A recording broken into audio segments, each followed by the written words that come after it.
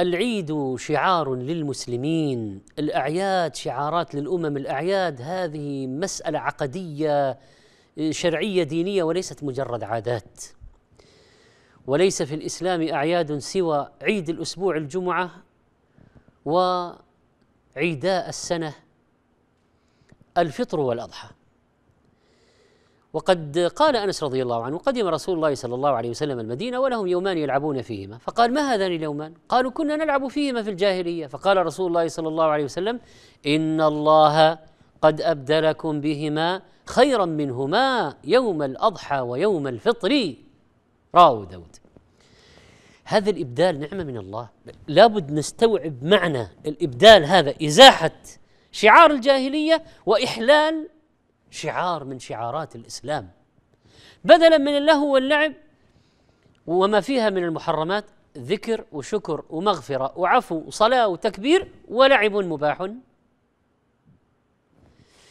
إن لكل قوم عيد وهذا عيدنا. هذه من الشعائر.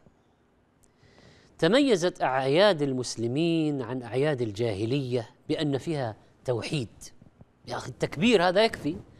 إظهار الفرح والسرور بنعمة إتمام الصيام. وهذه في الأضحى في الأضحية والهدي. وكذلك فيه الطواف والسعي والرمي والحلق وال... يعني عبادات مرتبط بعبادات شعائر عظيمة قبل عيد الفطر الصيام. وقبل عيد الأضحى عرفة. هذا ركن الحج وذاك ركن الإسلام. أعياد المسلمين بعد إكمال طاعة. أعياد المسلمين فيها فرح بنعمة تشريع دين توحيد وخير عظيم بفضل الله وبرحمته. فبذلك فليفرحوا.